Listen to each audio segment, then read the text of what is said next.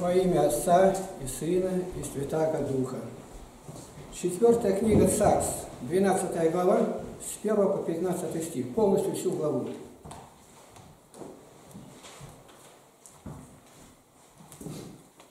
А вот, открыто.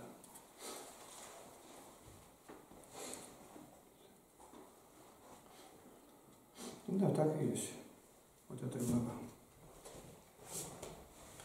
И упрекали Мариам и Аарон Моисея за жену Ефиоплянку, которую он взял, ибо он взял за себя Ефиоплянку. И сказали, одному ли Моисею говорил Господь, не говорил ли он и нам? И услышал сие Господь. Моисей же был человек кратчайший всех людей на земле. И сказал Господь внезапно Моисею и Аарону и Мариаме, «Выйдите вы трое к скинии собрания». И вышли все трое. И сошел Господь в облачном столбе, и стал у входа скини, и позвал Аарона и Мариам, и вышли они оба. И сказал, слушайте слова мои. Если бывает у вас пророк Господень, то я открываюсь ему, видение, во сне говорю с ним. Но не так с рабом моим Моисеем, он верен во всем дому моему. Устами к устами, устами к устам говорю я с ним, и явно а не в гаданиях, и образ Господа он видит. Как же вы не убоялись упрекать раба моего Моисея? И воспламенился гнев Господа на них, и он отошел. И облако отошло от скини, и вот Мариам покрылась проказой, как снегом. Аарон взглянул на Мариам, и вот она в проказе. И сказал Аарон Моисею, «Господин мой, не поставь нам в грех, что мы поступили глупо и согрешили. Не попусти, чтобы она была как мертворожденный младенец, у которого, когда он выходит из чрева матери своей, истлела уже половина тела. И возопил Моисей Господу, говоря, «Боже, исцели ее!» И сказал Господь Моисею, «Если бы отец ее плюнул ей в лицо, то не должна ли была бы она стыдиться семь дней? Итак, пусть будет она в заключении семь дней вне стана, а после опять возвратится». И пробыла Мариам за заключение вне стана семь дней, и народ не отправлялся в путь, доколе не возвратилась Мариам. Я обращу внимание только на слово «внезапно». Никто этого не ожидал. Моисей – родной брат, Мариам – родная сестра. И почему он себе, Моисей, позволил это? Разговаривали они с ним или нет? Библия молчит, но только они его упрекнули, и, видимо, упрекнули при народах. Как правильно, если нужно унизить, то где-то на площади сказать. А дальше разборку делает Господь. Вы пророков знаете, как Господь является, а с ним я говорю, как с человеком. И главное, облако стоит, столб. Здесь уже никак нельзя было сказать, что это привидение какое-то. Моисей молится, и Господь принимает молитву. Но если бы отец плюнул ей в лицо, ничего не делал, только плюнул. Сколько дней она должна быть под присмотром? Я сегодня хотел остановиться на этой теме. Слово Божие написано для всех. Вот Израилю было сказано, трижды в год все мужское население должно явиться в храм Божий. Храм один, Иерусалим. Да, это не Советский Союз от Камчатки до Кёнигсберга. Нет. Но, однако, они транспорта такого не имели. Самое большее – это осел, а уж лошадь там, может, у какого-то господина и они должны были явиться. А если не явился? Вот понимаете, это столько вопросов. Человек согрешил. Он уже не прикасается к святыне. Женщины часто спрашивают, а у меня вот ну, женское, знаете, такое это месячное. Можно ли в храм ходить? Определенно не указано, но написано к святыне не прикасаться. Пришла в уголок, встань, чтобы тебя никто не видел. Можешь прийти, можешь не прийти. Но к святыне, к кресту, к Евангелию нигде не прикасаться, ни к просторам, нигде. Это определенно и четко. И вот когда мы смотрим это, то видим, что человек этого не понимает. Я уже сколько раз было, кончается вечером богослужение, я иду, кто не был. Я спрашиваю об одном брате у батюшки, он говорит, а мы не знаем, он здесь или нет. Его нету, его просто нету. А он выходит Евангелие читает. Какое вы имеете право давать ему считать? На нем имя отключения уже может быть. Это Слово Божие говорит. У нас в притворе там это все написано. Если пропустил, речь идет о воскресном дне, но суббота связана с воскресением, считается воскресное Евангелие. Чем занимались? Чем-то лучше? А воскресенье, хотя бы архиерей был, правило, канон, он обязан быть в храме. А два или три раза не было отмущается, все, он с соглашенными будет. Вы совсем не смотрите за порядком. Почему не страдаете об этом?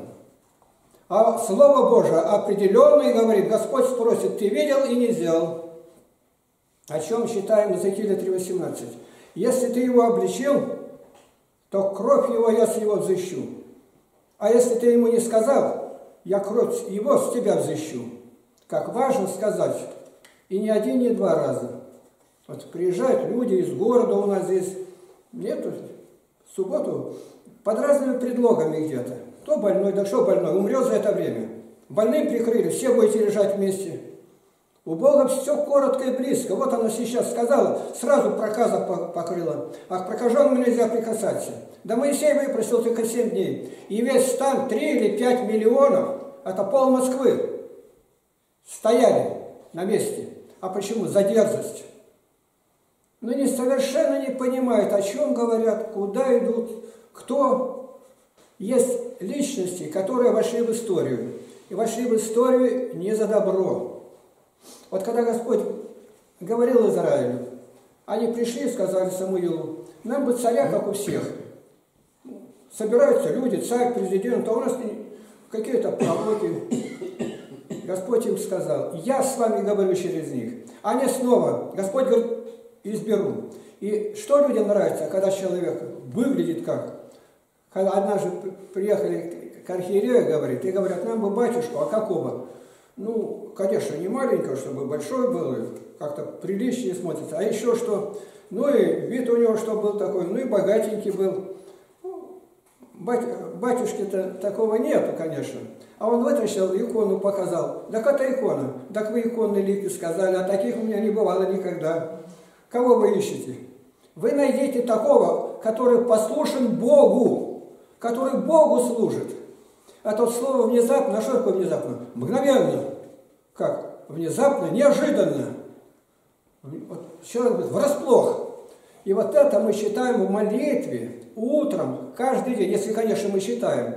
Там прямо говорится, внезапно судья приедет, и кое за деяние обнажаться и Господу сразу, помилуй меня, Господи, помилуй меня. Это молитва последняя Святой Троицы, помилуй, Святая Троица.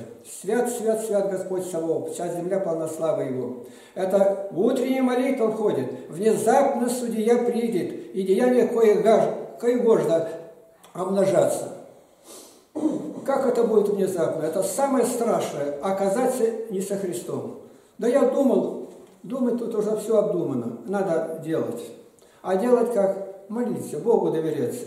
Какой у тебя талант нет, ты его развивай все время. Покажи ревность по Богу. Вот я говорил, я знаю, что ни один не скажете, еще даже лжи нету. А вы маленько проверяйте. Ты рядовой. Если ты рядовой, там стоишь, с тебя спросу нет, в субботу тебе не было. Сказать надо, а больше... Но если человек касается и учит другого, отрезано. А то уже вопреки Слову Божьему. Как он может учить, когда сам примером не является? Взявший в руки Евангелие, он должен же каждый день смотреть туда. И вот Господь избирает, какого хотели они. И избрал такого на одну голову выше всех. У нас были нынче такие.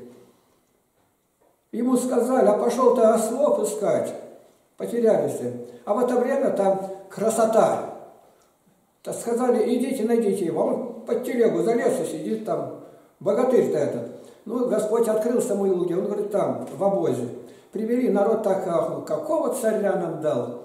Вот выпросили мы, а священник, пророк Самуил еще против был.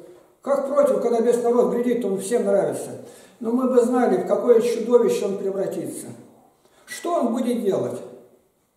Он обратился однажды к народу, кто возьмет такой-то город, штурмовать будет, дочь отдам за него. И он нашелся такой, который сделал это. Столица будет – а обнаженный разум стал подозревать. Когда он однажды победил врагов, и говорили, Саул победил тысячу, а Давид десятки тысяч. Ему на сердце легло, ему десятки, ему только царству не хватает. То есть он стал ревновать уже. И ревновать не просто так, а убить. А сын Иоаннафан, Саулов, которого Бог избрал им, он уже превратился в диктатора. Это уже не человек, это звероядное животное, кровожадное. И он жене сказал, статую положи в окно и убежал. А он послал к ним, придите домой, живого или мертвого, принесите ко мне его. Когда зашли, он стал упрекать, так он меня под пистолетом, как говорят. И он убежал, он пошел искать его по всем горам. Вы знаете эту историю. Я хочу остановиться на одном только моменте. Вот он везде идет с войском, ищет зятя, ищет убить совершенно невиновного. Но Инофан ему сказал, он ищет убить тебя. И он бежал. И пришел в город священников и спросил, есть ли у вас хлеб? И который хлеб священники едят, дали ему, и меч Голиафа, который ему принадлежал. И он ушел. И когда пришел сюда Саул, то нашелся один человек, который знал все. Но я промолчал, говорит, когда он был там еще. Давид, о Давиде говорим. Был чужой человек, Доек и Думиянин. Это нарицательное имя сегодня во всей, во всей стране буквально. Потом, когда до дела дойдет, Давид говорит, так я же смотрел на него. Я видел, кто он такой. Это самый последний негодяй. Кровь на мне. И когда спросили, что он на вас взял такой, как вы могли помогать? Он говорит, а как не помогать? Это ваш зять. У него ордена какие, все, вы ему сами прицепили. Он герой местный. Вы должны все умереть. Царь напрасно говоришь, кто? Воины опустили мечи. Священников сколько было там 70, всех порезать. Жены всех зарезать. Дети есть, всех зарезать. Скотину зарезать. Никто не, шевел, не шевельнулся. А Доик, Идумиянин, он не еврей. А я сделаю. И он всех зарезал. Один только убежал, успел. Это нельзя просто так считать. Это должно нам проникнуть здесь. Чужой. Почему? Он сразу сообщает. Телефон, и все, здесь обыски все будут делать. Это Доик Идумиянин. И его больше истории нигде нет, он исчезает навсегда. Он свое дело сделал. Город священников погиб.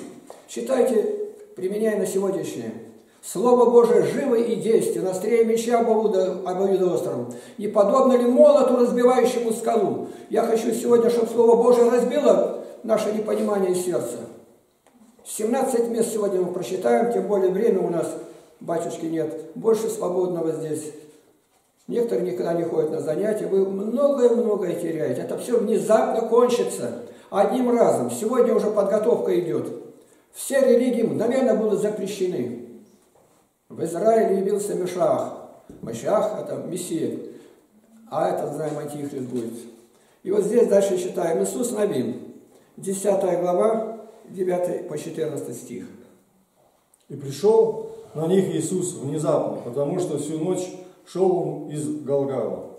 Господь привел их к смятению при виде израильтян, и они поразили их в Гаваоне сильным поражением и преследовали их по дороге к возвышенности – Вефорона и поражали их до Азека и до Македа. Когда же они бежали от израильтян по скату горы Вефоронской, Господь бросал на них с небес большие камни до самого Азека, и они умирали. Больше было тех, которые умерли от камней града, нежели тех, которых умертвили сыны Израилева мечом. Иисус возвал Господу в тот день, в который предал Господь Амарея в руки Израилю, когда побил их Гаваоне. И они побиты были пред лицом сынов Израилевых. И сказал пред израильтянами, «Стой, солнце, над Гаваоном, и луна над долиной Аялонской». И остановилось солнце, и луна стояла, доколе народ мстил врагам своим. Мы вчера говорили о солнце. Вот этот самый момент. И как у Господа все вымерено. Вот ночью, выйдешь, сейчас бывает, мелькнет что-то, но это в атмосферу входит, там астероид какой-то, осколок, он сгорает, не долетает до Земли, там пыль одна. А здесь камни, которые, ну, может быть, несколько метров высоту, падали с горы и поражали людей. Никто не знает. А было еще когда-нибудь? Не было. Вот когда мы Богу доверяемся, у Бога там камней этих много. Если мы этого не понимаем, что я говорю, вы знаете, у нас был епископ Евтихий Курочкин, 13 лет епископом, а мы считали Евангелие уже по-русски, и он запретил. Запретил и наложил на нас эпитемию. Притом сделал так, что в Синоде было известно. Мы ничего не просим. У нас церковно-славянский язык, но библейское мы считаем. Но если библейское поется, считаем по-церковно-славянски, поется по-церковно-славянски. И он так, заранее сказал, меня отличает, а батюшку запрещает. Чтобы три года вы слова не говорили про русский язык. На нашей стороне вся правда, но мы сразу же сказали, благословенный епископ. Он испытывает нас, и мы три года мешали, молчали. Но 23 марта сразу стали считать, ничего мы не стали. Батюшка, когда приехал туда, смотрит, а архиерей один там что-то поет, а священники на скамейке сидят. Он говорит, а что вы сидите? Да что он придумал-то? По-русски переводит. Он не только стал переводить, и в печати написано, как братья Лапкины сумели переубедить, когда он против, а теперь сам переводит о послушании.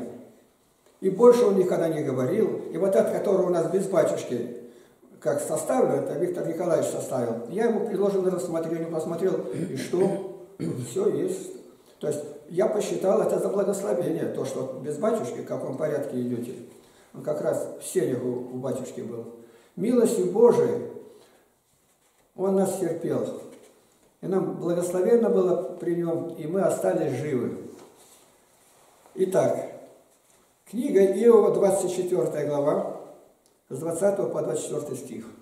Пусть будет его утроба матери, пусть лакомится им червь, пусть не остается о нем память, как дерево пусть сломится беззаконник, который угнетает бездетную, не рождавшую и вдове не делает добра. Он и сильных увлекает своей силой, он встает, и никто не уверен за жизнь свою. А он дает ему все для безопасности, и он на то опирается, и очи его видят пути их.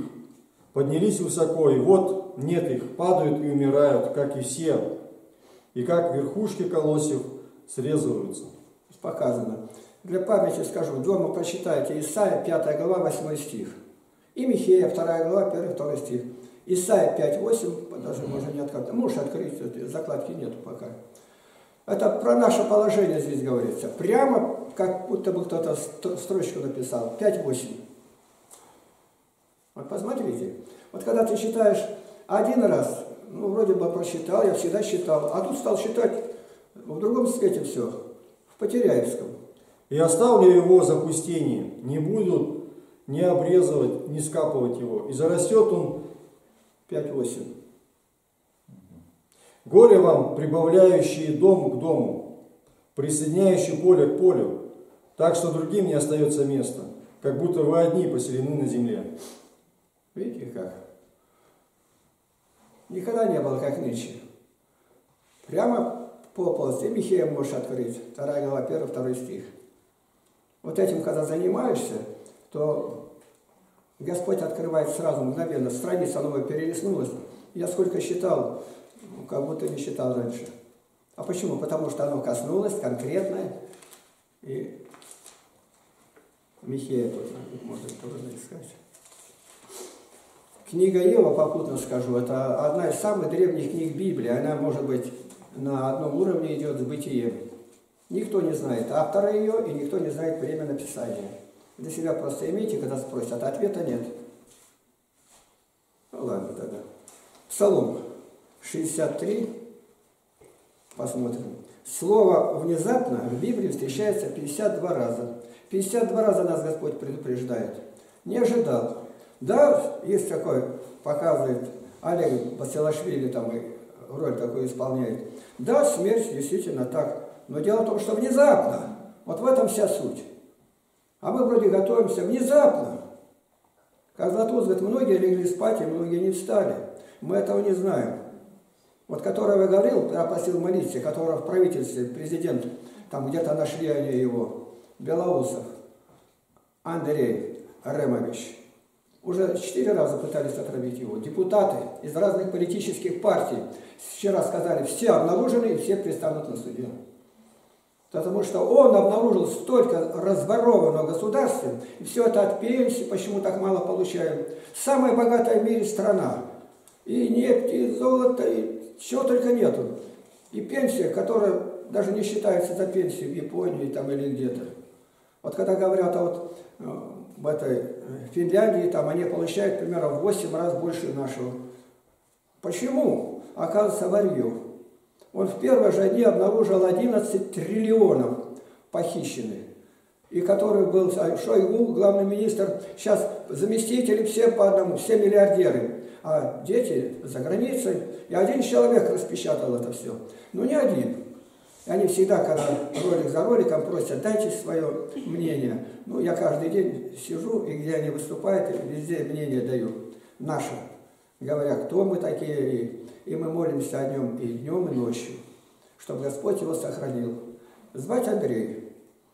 И никто этого не мог сделать. И главный не министр, министром обороны поставили. И один раз показали, он с погонами. И он, как то ли ему от Бога это открывает, или такие уже у него данные везде. Прямо открывают вот эти люди, а они плохие. И главное, на его стороне главный прокурор и говорит, Государственная Дума, а тот говорит, прокурор-то главный-то, не дума, а дура. Про... Все ушло. Страну разворовали, мы все молчали. Дело вплоть до самой верхушки касается. Знать, о чем молиться, чтобы Господь сохранил этого Андрея. Андрей означает по-еврейски «храбрый» в переводе на русский язык. Итак, Псалом 63, 5-8 стих. Чтобы в тайне стрелять в непорочного, они внезапно стреляют в него и не боятся. Но поразит их Господь стрелою, внезапно будут они уязвлены. Все. Они еще звонок дал, все, до их Адумиянин, и все погибли. Он внезапно делает, внезапно. И, как правило, это отражается на детях. А что делать? Прости, Господи, помилуй, в судный день не помяни безумие. Только молитесь об этом. Почему? Потому что все, что здесь делается, выбора никакого нет. Я такой, значит, на мне все это исполнится. Все будет предано забвению, как будто нас никогда и не было. А что самое ценное? Ну, если сказать человеку, он даже не поверит. Вот вы поете «Блаженны ищет духом». Ну, какие награды? Только одна велика награда, последняя, когда тебя поносят, когда злословят, как пророков. Ибо велика ваша награда на небесах. Если тебя никто не трогает за Слово Божие, нигде не досаждает, ты подумай, как так? Умеешь со всеми подладиться, на суде Божьем будет спрошено. Вот сегодня я подумал, я скажу это. Скажут, батюшки, нет, говорите. Надо давно было сказать. Я и батюшке многое говорю. Батюшка где-то связан с чем-то, он не может. Написано, если считаем 30 глава, 7 стих, там в притчах везде, у Исаии написано, не прибавляй к словам его. Не прибавляй, дабы он не обличил тебя, и ты не оказался лжецом. Слова Божьи, вот тебе надо это, возьми пропой, а потом добавляй. У нас в двух местах непрерывно добавляется. Вот мы сидим с батюшкой дома у него, я говорю, батюшка, ты не можешь слова-то эти вытащить. А какие? Ну, отче наш считай, он считает, да, ибо Твое есть царство, и сила, и слава веки, аминь. А ты считаешь, ибо Твое есть царство, Отца и Сына и Святаго Духа. Где ты взял Отца и Сына и Святаго Духа? То есть два раза у Луки считаем и у Матфея, нигде этого нету. А почему? От Арии. Оттуда идет. Чтобы напугать ее везде. Ты отдельно скажи, сто раз скажи. Или вот «Величие душа моя Господа» начинает с честнейшего Херувим. С честнейшего Херувим можно сорок раз отдельно, но в песне зачем туда толкнули? Два места, о которых я скорблю, я говорил об этом, говорю архиерею, мы отвечать будем. Чтобы Бог не обличил тебя, обличил. Господь скажет, там написано? Нет. И ты не оказался лжецом, а учишь лжецов в озере Огненном. Мы внезапно увидим, что какие мы были. Это сегодня мы такие. Но на суде Божьем все по-другому будет выглядеть. Кого ни во что ставили, он окажется, окажется в высоте. Его поразили там, кто знает Амфима Никомедийского. Но это единственный, у которого такая община была, 32 тысячи. Всех давно возвел на небо. А как? Сжигали. Живем, и никто не вышел. Притча Соломона 3.25. Не убоишься внезапного страха и пагубы от нечестивых, когда она придет. Когда ты идешь так, тебя это... сейчас вот изменится все. Я всем говорю, приобретайте Евангелие. где-то сохраните. Электричество сегодня отключили, ничего нету. У нас записано, голосом моим на Библии начитано. Но это все до времени. Где-то в разных местах. Когда я беседовал много с сектантами, и главное, как сделал это, пресвитер, так называемый баптистов, дал мне журнал «Ревнитель», он большого формата, как огонек, подшивка, 1400 страниц. Я его на пять раз, наверное, законспектировал и в разные города спрятал у знакомых. Думаю, меня арестуют, а это исчезнет. Как беседовать? Почему у нас иконы? Почему? Ну, все остальное где-то. И Господь сохранил. В одном месте нету, в другом будет. Где-то что-то, найди такой уголок себе, Евангелие заложи туда, чтобы оно не испортилось. Чтобы посчитал, да спрятал. Дальше. Притча 6.15.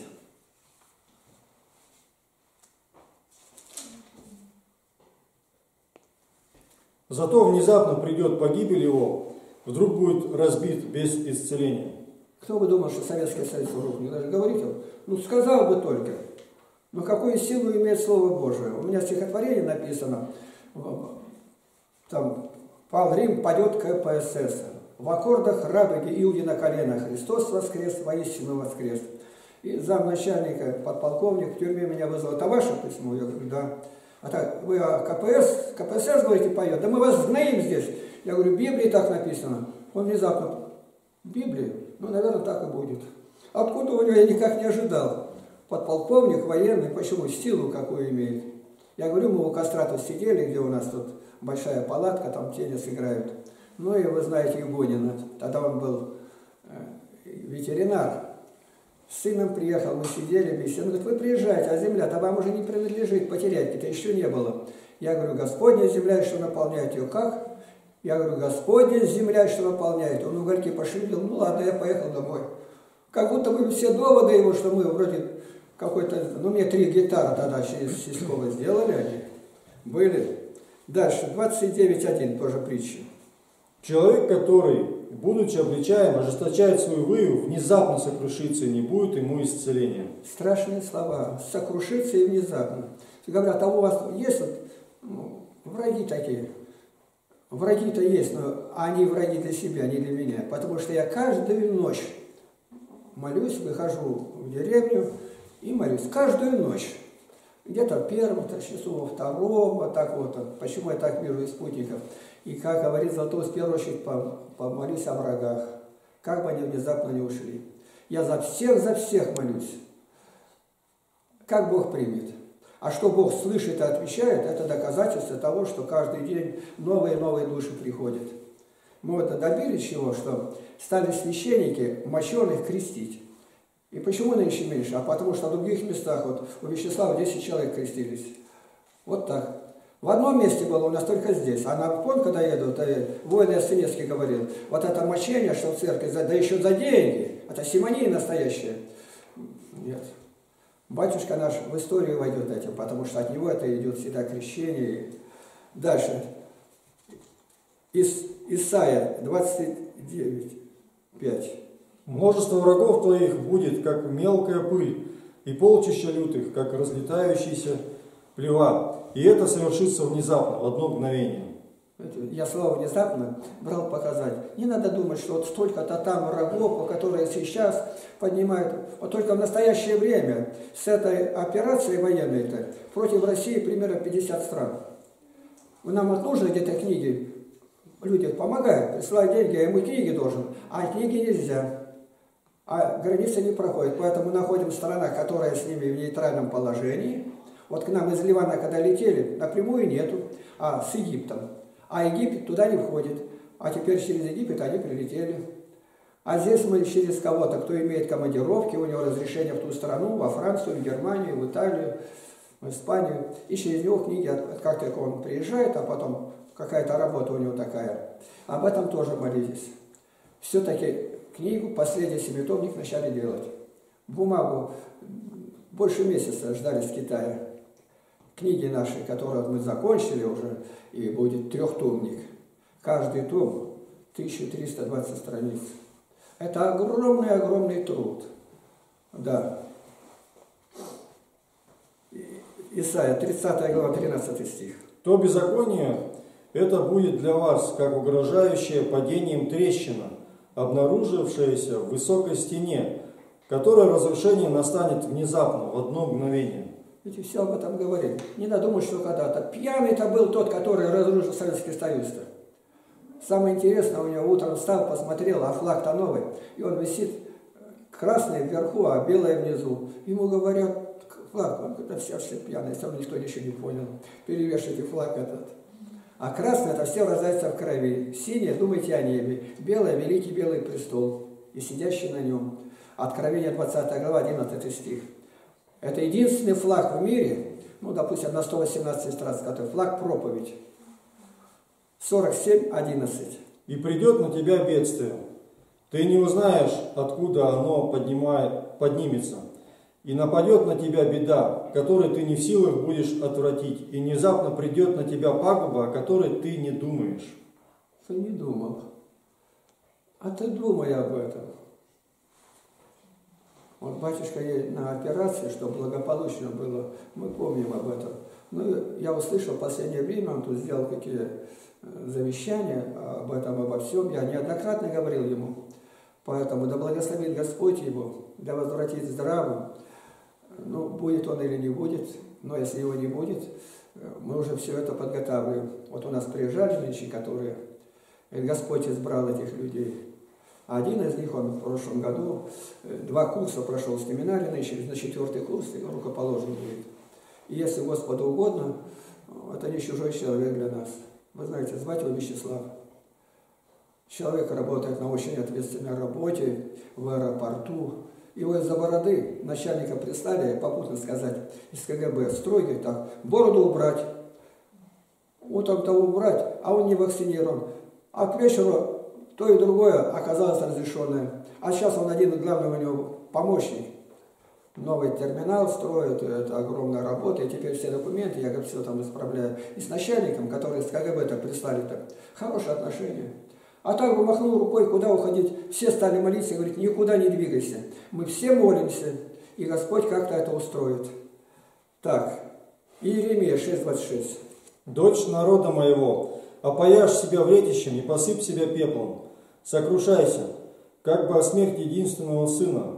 Горько плачь, ибо внезапно придет на нас губитель. Надо прибегать к себе. Внезапно вот они приедут, все, транспорт, земля, это все в один момент отчеркнуто, как будто никогда не было. Поэтому пользуйся благодарением Богу. У меня нет ни одного, о котором бы ночью не было, моли... не было молитвы. Никак. Она одна живет каждый день, поминая каждую ночь. Почему? А это радостно осознавать что мы не одиноки. Вот почему в первом послании Иоанна 1.7 написано, если ходим во свете, как Он во свете, имеем общение друг с другом, и кровь Иисуса Христа очищает нас от всякого греха. Вот тогда кровь Христа. Не просто так, я думаю, буду сидеть, закроюсь, никто не знает. Это неуважение братьям, к родным, близким. А если куда-то выехал, обязан там пойти в храм. Тут уже канон. Речь идет о воскресенье. А вот ты рядом, но в субботу не прийти. Вот через дорогу я перехожу сколько раз. Мне уже неудобно туда идти. Убеждаю, говорю, люди это все хорошие. Сказал бы, ну не ходит, да не ходи. Никак не могу это подумать даже. Я никогда не забуду, когда сестра Серафима Гавриловна была, я гляжу богослужение, что-то среди недели было. Пришел она на огороде, сестра почему нет? Как она взахалась, как руками, да что же такое? Вот она ревновала об этом. Она оставила нам пример. Аввакум 2.2.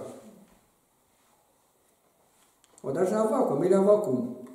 Это надо у старообрядцев так, у новообрядцев по-другому, у ударение в другом месте. А какое? Ну, как привык, так и говори.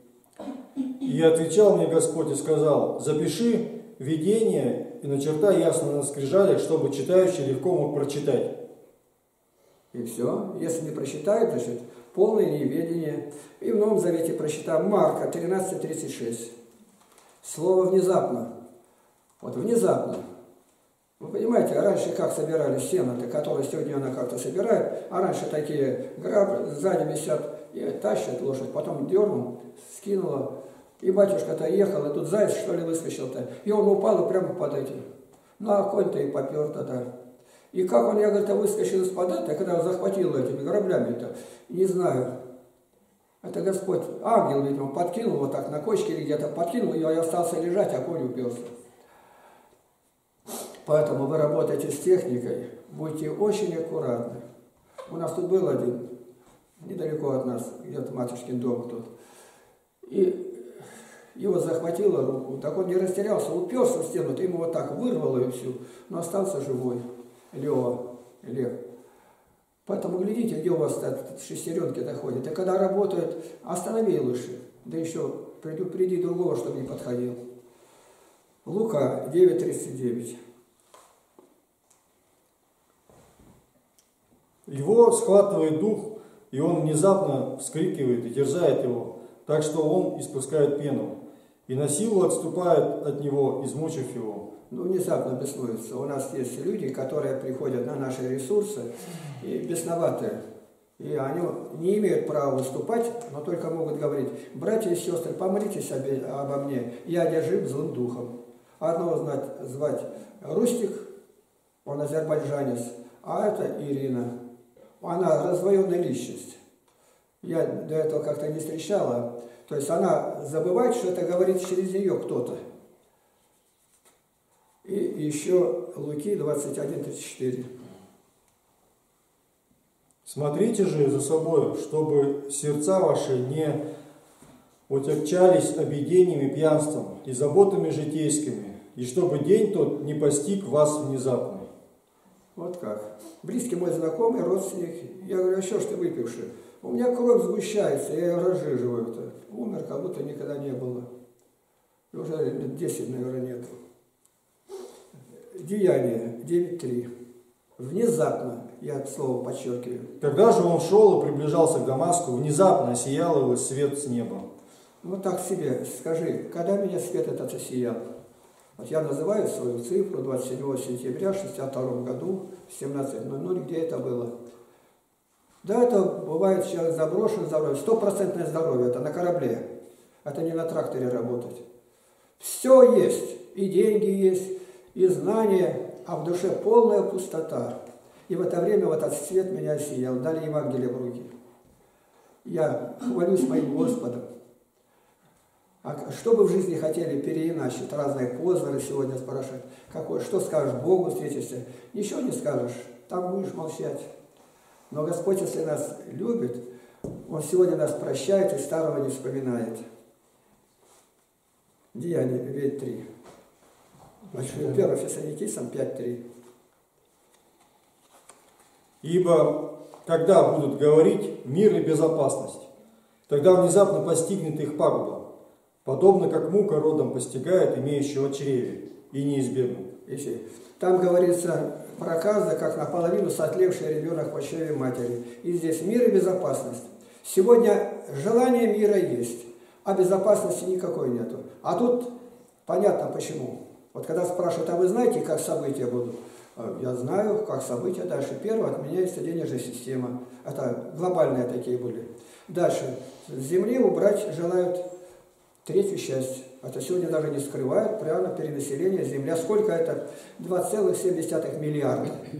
Миллиарда. А за Вторую мировую войну только где-то около 75 миллионов погибло во всем мире. Они сделают очень легко. Даже сегодня не надо говорить не делают этого ни на работу, ни в транспорт сесть, нигде нету. А которые сделали, показывают, играют на футбольном поле. А одновременно три человека падают, молодые ребята сразу умерли. А почему? Сделали то, что надо. И дальше, дальше все правители мира согласятся. Войны надо прекращать. А как? Ну, вы в стране своей воюете, а с кем воевать? Мы одинаковые. И там нет. Одно государство, что было, границы исчезают, а один царь над всем миром. А мы знаем, о чем речь идет. Израиль уже об этом объявил, первосвященника избрали, сосуды, которые были в храме, достали. То есть все теперь подготавливается. Только осталось... А что они имеют? Вот на днях только было. 48 часов Израиль объявляет войну не кому-то, а Ирану. Иран это второе или третье, третье в мире государство, такая большая армия. Израиль никого не боится. Сразу подтянули корабли американские, только на одном корабле 75 самолетов грузятся и сбрасывают. А нам какое отношение имеет? Это нас прямо касается. С нами никто разговаривать не будет. Но если это мы ждем, мы только промыли, Господи, мы знали, что это будет. Мы рабы Твои, но Ты открыл нам как друзьям. Это будет. Если не угодно наша жизнь, я не удержусь, прими нас сейчас. Имя Господне мы повторяем. И внезапно Он нам явился. А если не явился, упроси Его, чтобы была встреча.